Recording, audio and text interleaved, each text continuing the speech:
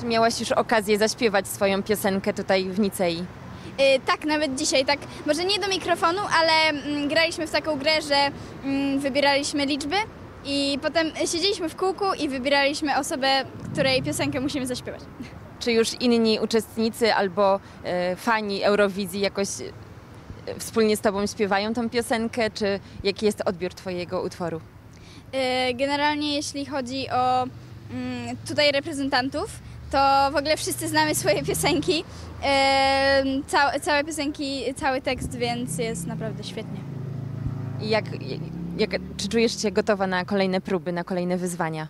Tak, ja czuję się naprawdę e, gotowa jak nigdy, bo miałam dużo prób, dużo właśnie przygotowań z moją produkcją, więc czuję się bardzo, bardzo gotowa.